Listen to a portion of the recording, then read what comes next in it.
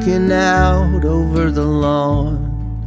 Another year has flown, though at times it felt like it might never go.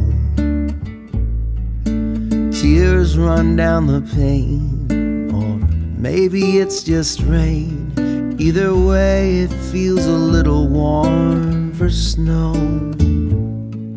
The world's gone brown and gray. How to get this way? It should be red and green and white this time of year.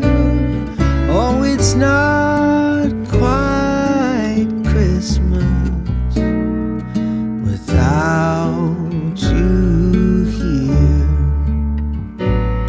Put the elf upon the shelf, trimmed the tree myself. It helps me to keep busy with a task. Must be five o'clock somewhere, but there's no one here to care if I've got more than eggnog in my glass.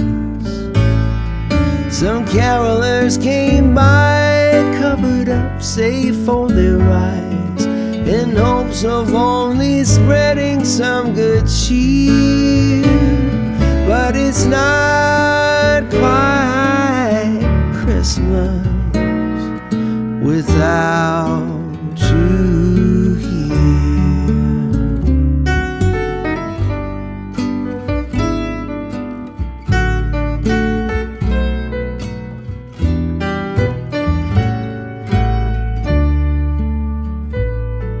I'll call you later on. It's not the same over the phone, but I'll try and put a smile in my voice.